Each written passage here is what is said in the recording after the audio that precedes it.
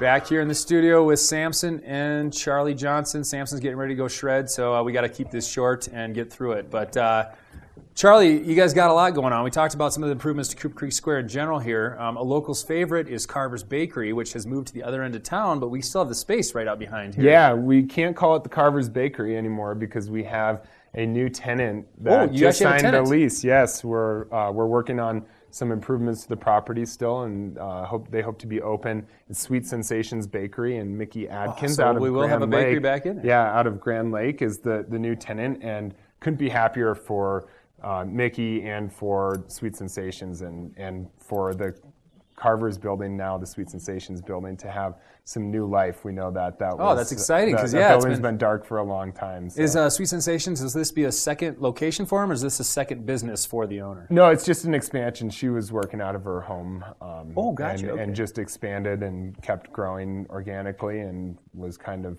Sweet she was doing what she, what she loved out of her home as kind of a hobby that developed into a successful business. Are we a little too early to pro- project er, open dates or anything like that? Yeah, it, it is. I'm not. this just kinda sure went down, so- yeah, yeah. that's we very just, just exciting. signed the lease, but I know she's anxious to get open as, as soon as possible. So we're um, we're we're really excited about it, and just and really like Mickey. She's a great person, and um, excited for her business. Think it's going to be good for Cooper Creek and for Winter Park.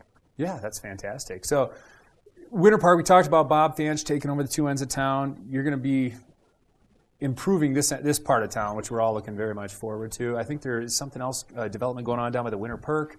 Um, there's a lot of expansion to Winter Park, the town, and I know a lot of people say, Hey, come uh, we're hearing a lot of people say, well, you know, Winter Park's a lot more condos, a lot more developments. You know, can they handle those people? And I know the ski hill isn't just all there is at Winter Park. You know, Yeah. it's going to be fun to see our town boom. You know, Yeah. I think we're going to see a lot. Oh, and of I think that there's so many good things happening for Winter Park right now. I mean, the the prospect of the ski train coming back. Yeah. If that happens, it's going to be awesome for Winter Park. It's the only place in North America, I believe, that at least in the United States, that you you'll be able to fly into a major regional airport, Denver International Airport.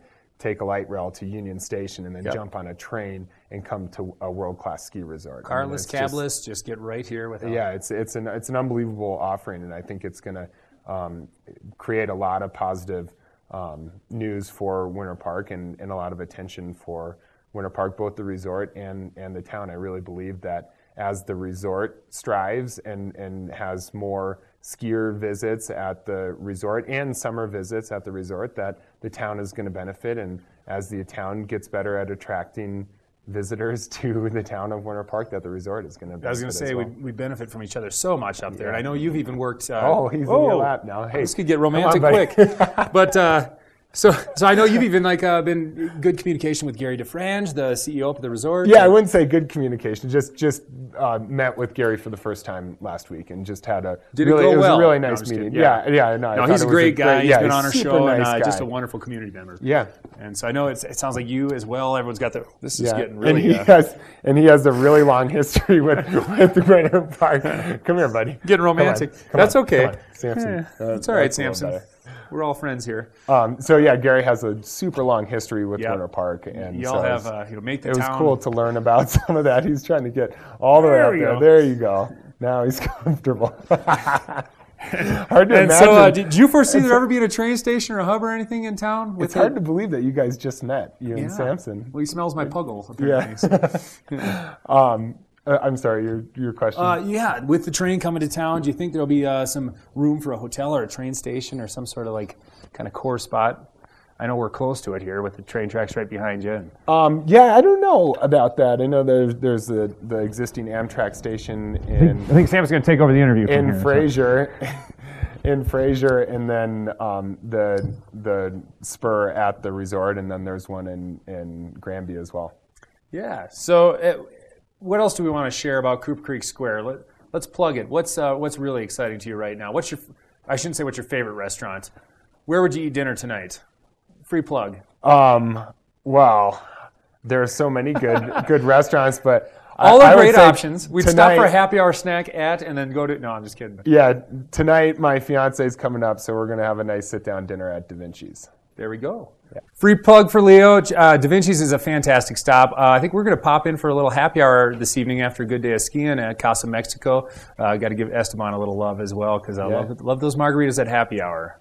Um, but uh, yeah, once again, Charlie Johnson, owner of Cooper Creek Square, and these guys are wonderful to us. We're so appreciative for the space we have here and the 20 shops and restaurants.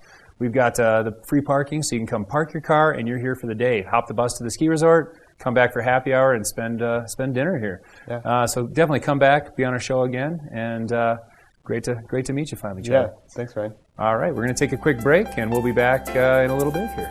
See you shortly.